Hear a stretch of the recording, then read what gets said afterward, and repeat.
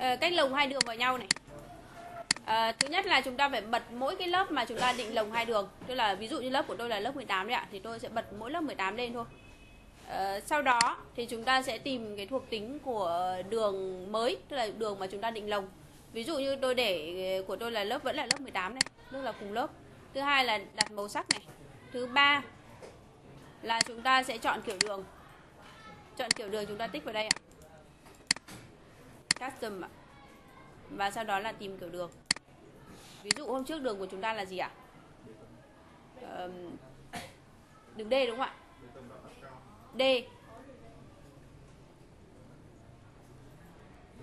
Chúng ta tìm uh, kéo lên kéo xuống để tìm ạ.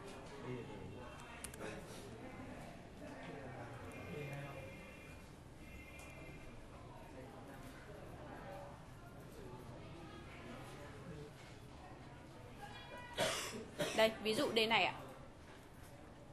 Tỷ lệ 1 phần 25 nghìn Chúng ta tích vào đây để chọn kiểu đường. Chúng ta để style là không nhé. À xin lỗi, weight là không. Và bây giờ bắt đầu copy. À, trước tiên là thu nhỏ cái lớp cần copy ạ. Là tất cả các đối tượng nó phải về trước màn hình. Bước thứ hai là chúng ta dùng công cụ chọn đối tượng. Kéo. Sau đó dùng lệnh copy.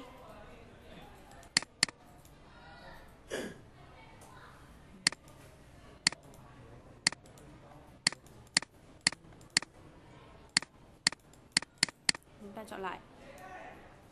Dùng công cụ chọn đối tượng này. À, chọn lệnh copy này. Tích ra bản vẽ và đưa lên cửa sổ lệnh. Đánh lệnh dx bằng 0 như vậy bây giờ đã copy được. Và bây giờ chúng ta dùng công cụ thay đổi thuộc tính. Yêu cầu là tích chọn tất cả nhé sau đó tích ra bản vẽ như vậy bây giờ chúng ta sẽ thấy là đường và viền đã lồng vào nhau rồi ạ. Ấn Ctrl B lên để nhìn kiểu đường. Ví dụ cái lõi là màu đỏ và cái viền ở ngoài chính là đường D, màu xanh.